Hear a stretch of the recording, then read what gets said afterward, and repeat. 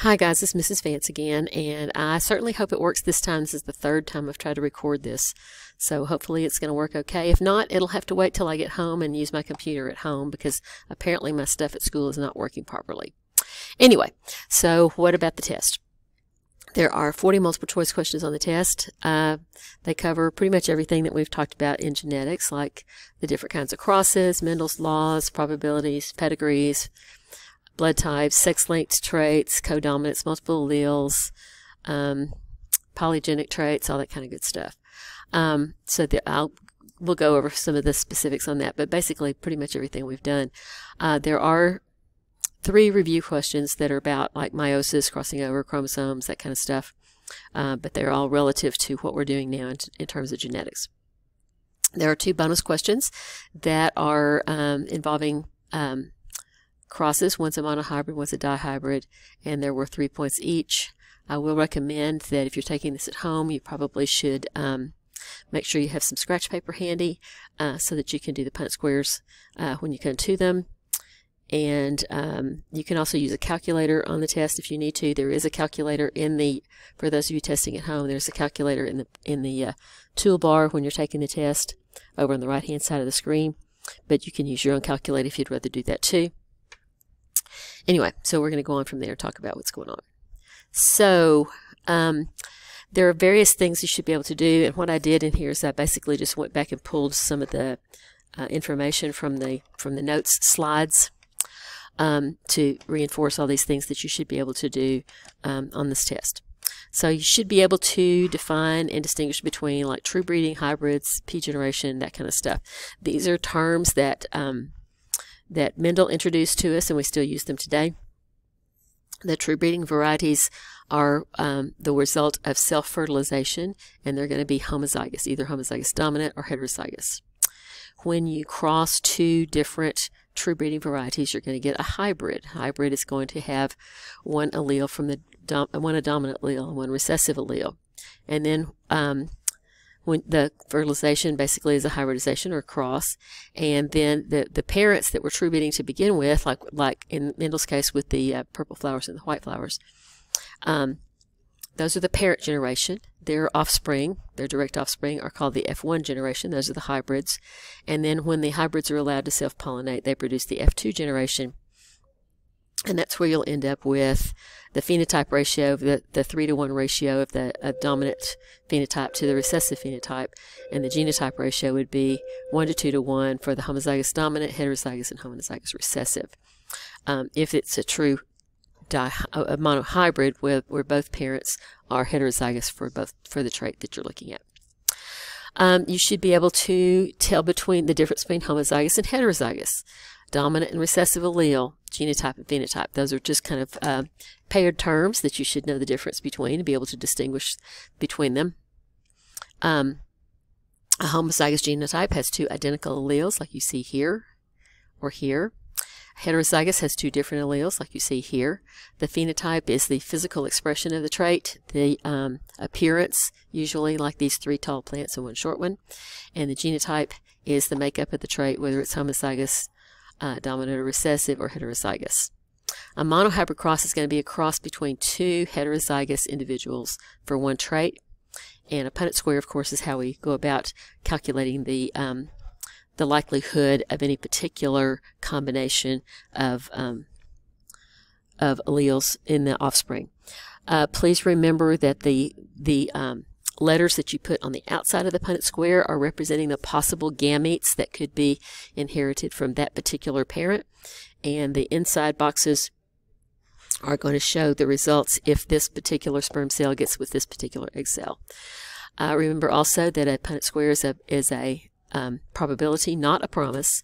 It doesn't always work out that way, but that's the most likely thing. And that every fertilization event requires a new Punnett square, or basically starts over again from scratch. It's not cumulative. Each each fertilization event is an independent of all the other ones. Mendel's law of segregation is talking about the fact that when you're inheriting uh, alleles for a particular characteristic, whatever that happens to be, you have two alleles for each characteristic, and your sperm cells or egg cells are going to get either one of those, one or the other of them, but not both of them. The two alleles are going to separate from each other during the production of gametes that happens in uh, meiosis two when the uh, when the um, or meiosis one and meiosis two when the uh, homologous chromosomes separate. Um, the relationships between homologous chromosomes, remember that homologous means homo means the same, and the logos part refers to the position of the gene on the chromosome. And basically, you have the same location for the genes of the, the same gene. So you have a gene for hair color, or you have a gene for uh, flower color, or whatever. The two alleles that are on the uh, homozygous, on the on the uh, homologous chromosomes, may be the same like they are in homozygous individuals, or they may be different like they are in heterozygous. But there's still going to be alleles for that gene, that particular trait, whatever that happens to be. Um, Mendel's law of independent assortment is what he figured out when he tried looking at two um, traits at the same time. He, uh, but when he looked at this, he found that they didn't necessarily inherit the the parental phenotypes that they could be different because the inheritance of one characteristic is not really influencing the, the inheritance of another one.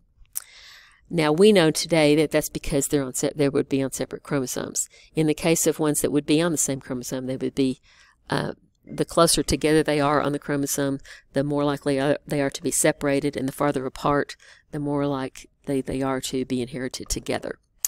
Um, the dihybrid cross is basically like two monohybrid crosses, and you could take the results of that and then multiply them together to get the different percentages um, or different fractions that you should get. And this is called the law of independent assortment because the inheritance of one chromosome is not affected by or influenced by the inheritance of another one.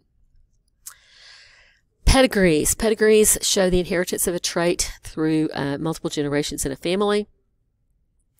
It's a good way to figure out perhaps whether a trait is uh, dominant or recessive.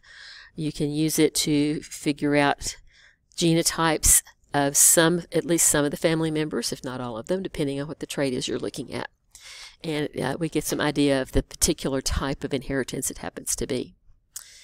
On uh, when you look at recessive and dominant disorders and things like that, then you can looking at a pedigree really helps to tell that. For instance, this family pedigree here you notice that not very many individuals have this, this trait, whatever it happens to be.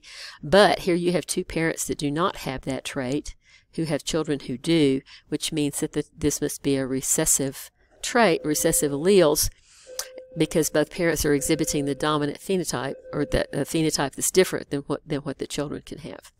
And so that gives you a good indication that it's that it is a recessive trait. Um, the one down here at the bottom is actually representing a dominant um, trait. And this is sometimes a little bit harder to determine. I'm not going to ask you to figure that out on a uh, on a test, but just so you know that uh, you can look at it and figure something out. In other words, the child can't have. There's no child that has this condition that doesn't have a parent who did have the condition. And so here we have three children number 2223 and 27 whose whose parent 11 had the condition and they have it too some of their siblings have it some of their some of them do not the um, the child number uh, 24 that doesn't have the condition their children do not have the condition either but but three three who does have the condition has a mother who has that and so it's inherited directly as a dominant trait Sometimes that's a little bit harder to determine, but I wouldn't worry too much about it if I were you. This last one here is a sex-linked um, sex-linked pedigree. And a sex-linked pedigree, the thing you look for is to see whether what the gender of the affected people. And if you look at this carefully, you see that all of the infected people, um, uh, the people who have this condition, are males, except for this one female down here. The females are uh, generally carriers. They have they have one allele of that, and the other allele is normal. This one female that has the condition has a mother that is a carrier and a father who has the condition. And so that's the only way you can inherit it because these are traits that are carried on the X chromosome. Females have two X chromosomes. And so they have to have, uh, it's a recessive it's recessive in females, but dominant in males because males have only one, one X chromosome and no genes on the Y chromosome to counteract the, uh, the one recessive allele. There are various inheritance patterns that are different than what Mendel described. Okay, and so we're going to talk about some of those. The first one is incomplete dominance. In incomplete dominance, you have two distinct um, phenotypes that are very different from each other, like the red flowers and the and the white ones. But when you when you breed the two together, when you when you fertilize the two together, the intermediates that you get, the hybrids that you get, are actually pink, which is kind of in between the red and the and the white. And so in incomplete dominance, you're going to have some. The phenotype is going to be somewhere in between the two extremes. It's going to be a, like a blending of the two traits, as if you took red paint and white paint and put them together to make pink. Multiple alleles is when you have more than two alleles for a particular trait in the population. And blood, blood types, human blood types, are a really good example of this because you have three different alleles. You have an A allele, a B allele, or an O allele. A and B are also a good example of codominance because both are dominant. They both produce their product, whatever that is. In this case, it happens to be a carbohydrate on the surface of the red blood cells. The O is recessive to both of those things, and so the O has neither of those carbohydrates, whereas the AB, since they're co-dominant, both of those carbohydrates are expressed, and so they're both present on the surface of the cells. And the last one on here is polygenic inheritance. That means that you've got multiple genes coding for the same trait. Things like skin color, which is shown here, and hair color, eye color, um, height, various things like that. Uh, there are multiple alleles, multiple genes that code for that. And basically what you get is, uh, as a result of the additive effect of all of the uh, recessive or dominant alleles that you have. In the case of skin color, the more recessive alleles you have, the lighter the skin tone, and the more uh, dominant alleles you have, the darker your skin tone. And individuals with the same number of of, of positive, or I'm sorry, dominant or recessive alleles, even if they're in different, even if they're on different genes, would have the same would have the same phenotype. Their genotype might be slightly different, but their phenotype is, is the same. And that's generally what you see in polygenic inheritance. In humans, sex is determined by means of the X and Y sex chromosomes. Females have two X chromosomes. That means every egg cell that is produced by females is going to have an X chromosome in it. Males have an X chromosome and a Y chromosome.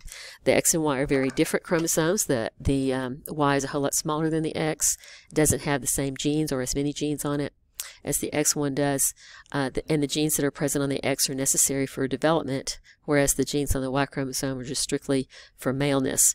And so um, the sperm cells that are produced by males have either an X or a Y, and that's going to determine the gender of the offspring because the mother can only can only um, provide an X chromosome, whereas the and so if the zygote receives an X chromosome sperm, then that would make the zygote a girl, and if the um, zygote uh, receives a Y chromosome sperm, then it's going to become a male.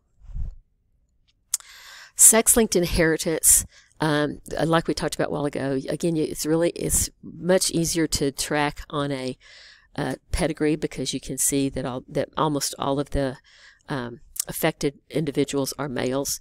Um, sex-linked disorders include things like hemophilia, like we showed here with the uh, with the Ro Russian royal family, also color blindness, and the other main one we talk about is Duchenne muscular dystrophy. But much more frequently, we talk about color blindness or um, hemophilia in humans and eye color in um, fruit flies. So those are the more common ones to talk about.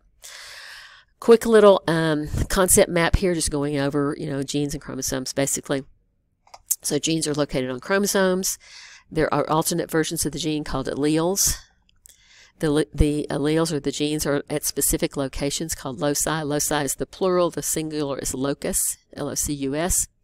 If both alleles are the same, then we call that genotype a uh, homo, I'm sorry, homozygous. If different, the genotype is called heterozygous. In a heterozygous individual, the expressed gene or expressed allele is called dominant, and the one that's unexpressed is called recessive. When you have some phenotype that is in between the dominant and recessive phenotypes, then that's called incomplete dominance. So study for your test. Uh, again, have some scratch paper and perhaps a calculator if you if you don't want to use the one online. Um, when you take your test tomorrow, just make sure you study, look back over your notes, go through back through your worksheets, and activities that we've done to kind of review how to do various things, and you should be fine. See you next time.